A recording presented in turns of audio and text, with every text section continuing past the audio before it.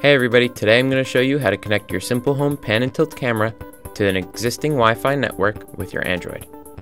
Before we start, you'll need a strong internet connection and an Android device. The box includes a camera, a manual, a power adapter with the cable, a hang tag with the QR code, and a mounting kit.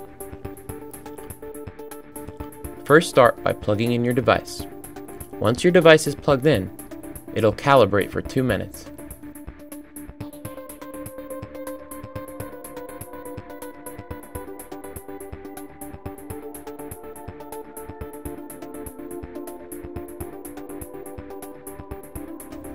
Once your camera finishes calibrating, open Settings and check in your Wi-Fi list for your device name.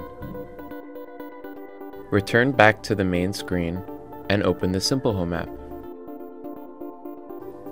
After logging into the Simple Home app, press the plus button to add a device. Scan the QR code on the camera or hang tag provided. Once you scan the QR code, the app will take you to the Add New Device screen. Press the camera icon to take a profile pic of your pan and tilt camera.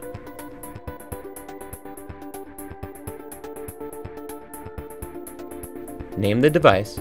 I'm going to name mine Cam1. And then enter your existing Wi-Fi password.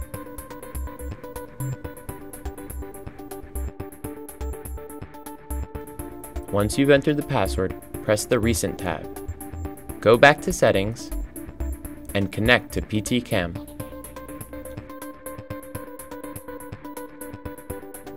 Once connected, head straight back to the Simple Home app. Press the check mark on the top right corner, and within three steps, your camera will be connected.